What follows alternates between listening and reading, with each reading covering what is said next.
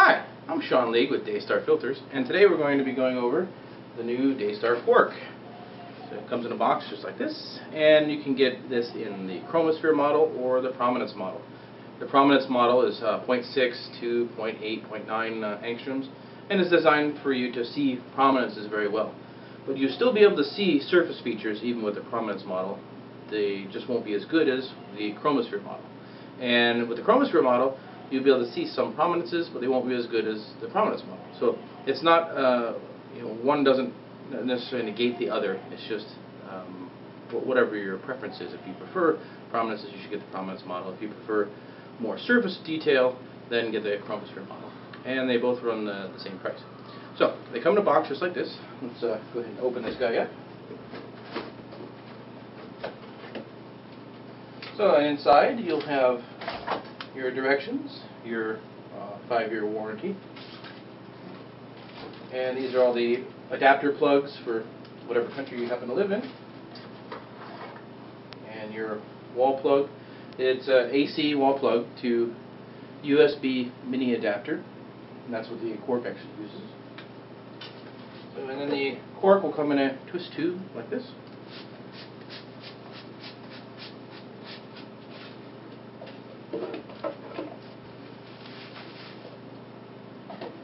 Pull that guy out.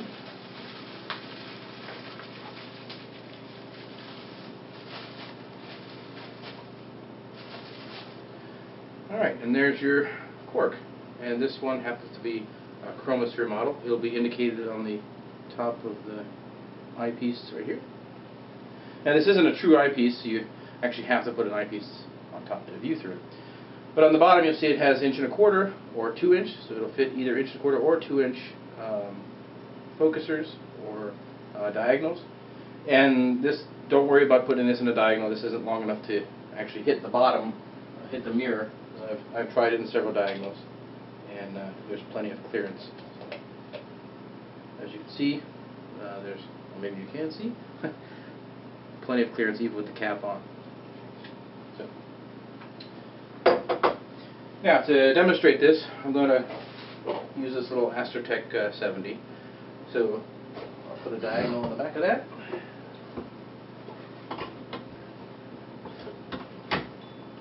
So. And then to use the Quark, simply pull the cap off and place the Quark in the 2 inch diagonal like so. Tighten up the if you have an inch and a quarter diagonal, it'll fit with the smaller barrel inside. Now, the next thing I need to do is plug it in, okay, um, because the uh, Quark actually requires heat, uh, a certain temperature, to be on the band, to actually see hydrogen alpha. So it's all temperature re regulated. So it's a good idea to plug it in first, and because it'll take a few minutes to warm up. And when it's warmed up, this light here will start off yellow, but as it warms up, when it gets on band, and it's been on band for several minutes, it'll turn green, and that's when you know you're on band. Now this uh, knob here should be turned to the up position. Okay, I've went ahead and uh, went ahead and plugged this uh, USB in, so I'm going to put that into the port now, and you'll see that the light turns yellow. So now while it's warming up, I'm going to go ahead and put my eyepiece on. And I've just got a, uh, yeah, 32 millimeter Televue here, Plössl. So the reason we like the Televue eyepieces is because they have uh, a lot of baffling and they have uh, the edge is darkened and they're great for solar viewing. Yeah, a lot of eyepieces that work great at night don't work so well during the daytime. So, um, but these eyepieces just yeah, happen to be very good. Okay. All right. While we're waiting for this to turn green, this is a good time to you know mount your telescope. You can put it on your mount, set up your tracking or um, however you want to set your telescope up. Um, and you can actually plug the Quark in before you put it in the telescope while, while you're setting up as well. So you know, however you uh, prefer to do it. So now, once this turns green, you're ready to go. Just aim, aim it at the sun and focus and observe. Now this will work for any scope below 80 millimeters. This is all you need to do and you're ready to go. If you're above 80 millimeters, you'll need a UVIR filter, which I have one sitting right here, and that's a Astronomik 2-inch UVIR filter, And the IR filter, we recommend it that you put it in front of the diagonal. So just thread this onto your diagonal here. And that keeps the diagonal and the Quark from getting too hot. And inside the telescope, if you have a doublet like this is, you have all the lenses up front, nothing in the light is not focused on anything in the telescope, so there's no problem with uh, overheating. Now, if you have a type of telescope like a Headspell or a SCT or something like that, the internal workings will get very hot, and in that case, you will need uh, an ERF, an energy rejection filter, for the front of your telescope.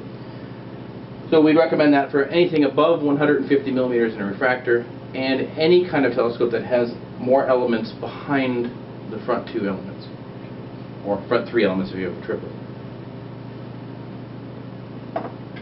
Now, the one thing I didn't talk about yet was this knob here. Okay, When you're starting off, you want to start with the knob pointed up, the little white uh, dash here pointed in the up direction.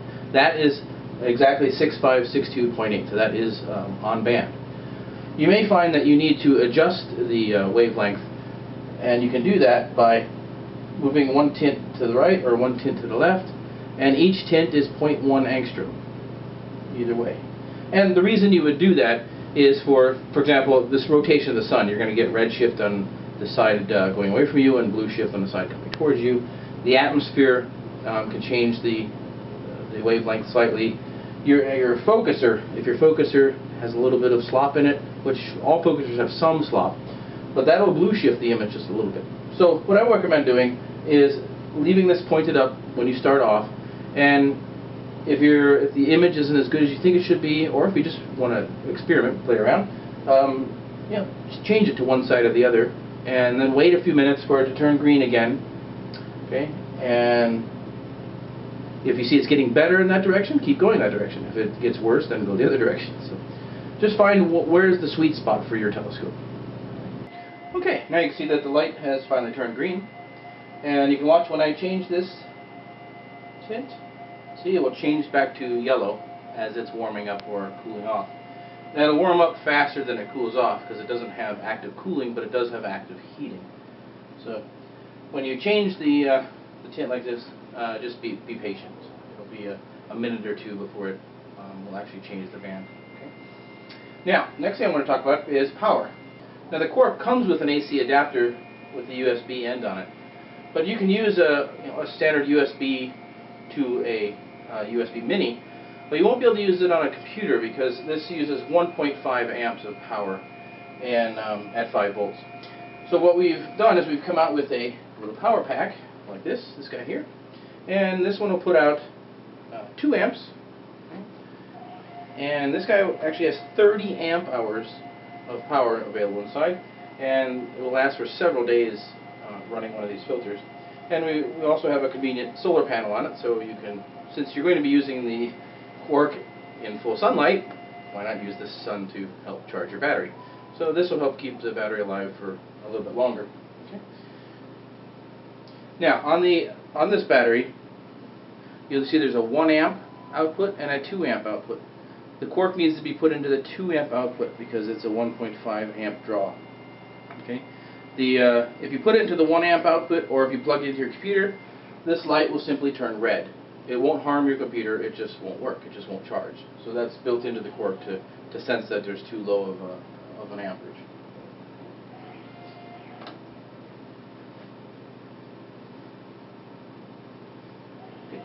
Now, in the near future, we're going to be coming out with some accessories for this Quark as well. We'll be coming out with a with a 2-inch adapter. We've had a lot of requests for that, uh, to put a 2-inch eyepiece in there. And the Quark has a magnification of 4.3x built into itself, so that you can use it with an f5 to f9 refractor. That that was the uh, purpose of the design, and we designed it specifically for those refractors.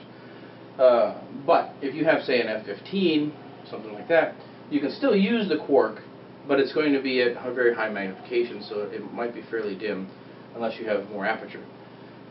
So what we're going to do to solve that is probably sometime in the next year we're going to come out with a, a 2x model. So, but we haven't done that yet, so we're a little overwhelmed producing this at the moment. But uh, we'll get on that as soon as we can.